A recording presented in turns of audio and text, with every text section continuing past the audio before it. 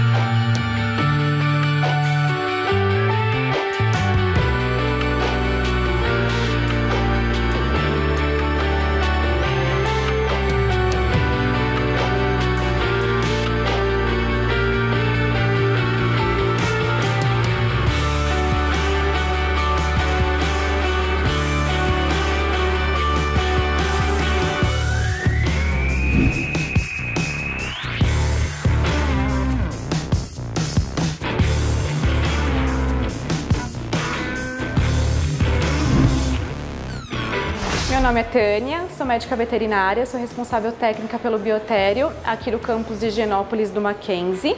O nosso biotério ele é de roedores, trabalhamos aqui com ratos e camundongos. Aqui é a sala de comportamento de camundongos.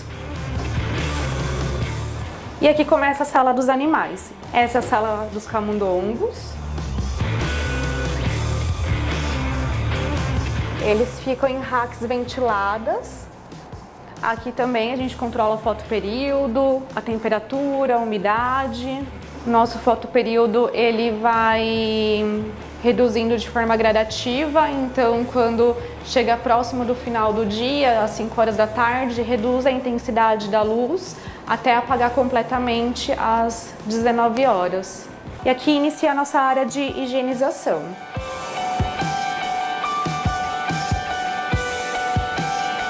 Então é aqui nessa área que a gente faz a higienização das caixas, dos bebedouros, a gente prepara também a parte limpa, né, as caixas limpas com a maravilha esterilizada, os bebedouros com a água, então tudo a gente faz aqui nessa área. Aqui é uma capela para raspagem das caixas, então assim que as caixas sujas saem da sala dos animais, aqui é onde a gente faz a raspagem.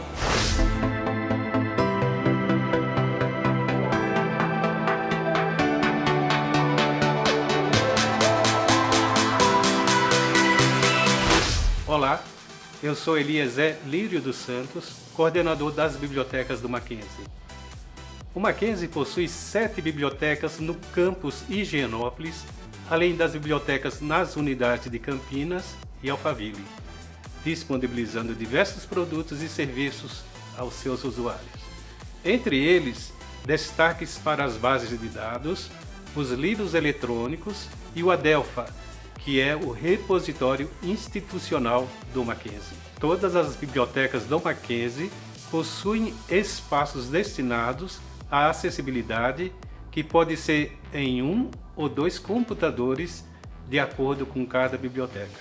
Disponibilizamos também um software chamado NVDA que auxilia o aluno nesse processo.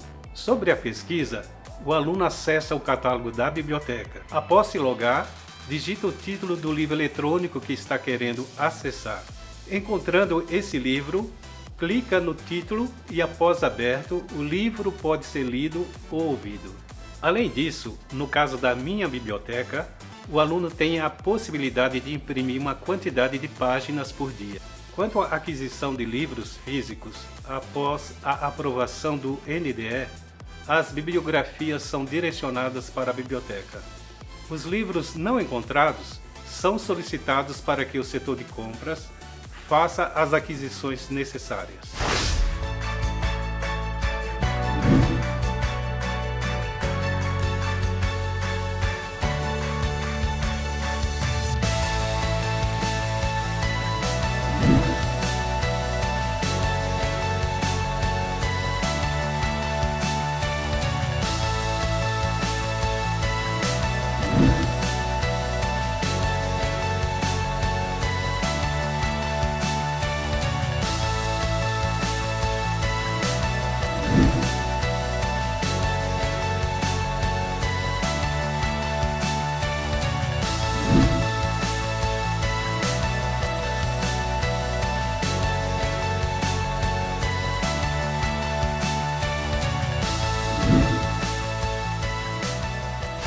Olá, sou Fernando Machado, secretário de Saúde do município de Osasco. É com grande satisfação que recebemos a notícia da vinda da Faculdade de Medicina do Mackenzie para a região de Osasco. A região de Osasco fica muito feliz e será contemplada por novos profissionais formados por essa instituição centenária. Segundo os princípios e diretrizes do SUS, existe uma grande importância na formação acadêmica, na formação médica, dos profissionais serem formados dentro da região, conhecendo sua região, conhecendo o seu paciente, na promoção de saúde e não simplesmente no tratamento de doenças. Olá, sou Ana Maria Pessoa Massarente, secretária de Saúde do município de Itapevi, um município com 240 mil habitantes, tem uma rede de saúde composta por quatro pronto atendimentos, 15 unidades básicas de saúde, centro de referência da mulher, um grande ambulatório de especialidades.